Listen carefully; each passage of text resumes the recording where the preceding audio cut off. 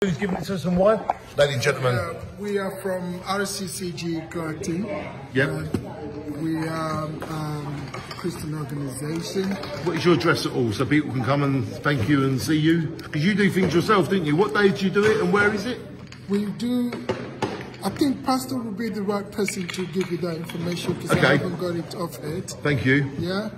Uh, but I think this coming Sunday we have one. Yes. We have uh, one care and share activity going on. So if they come to your church in Clacton, the Redeemed Christian, Church, of God, yeah. they can come there and they can get food equally there. Yeah. What time is it there this Sunday? So it's normally after uh, 12 o'clock. Yep. Um, after church service.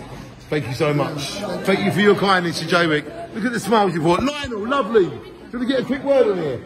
Can you just remind everybody who's doing this, why they're doing it, and where, who we can thank, please? Okay, it's Apart from thanking you, sir. it's the Redeemed Christian Church of God in Clacton, and we're doing it to help out the uh, those in need in the Jaywick area. We already do it in Clacton, and we thought we'd uh, extend it out to the uh, Jaywick community. and you've done this for the second month now, and I just want to say on behalf of everybody that's had food, thank you very much, Lionel. You're welcome. And God bless you and your church and all churches and everybody. Yep. Yes. Thank you. We need more love like this. Thank you for helping us. You have not forgotten anybody. No, we were trying to help. Mwah. Thank you so much.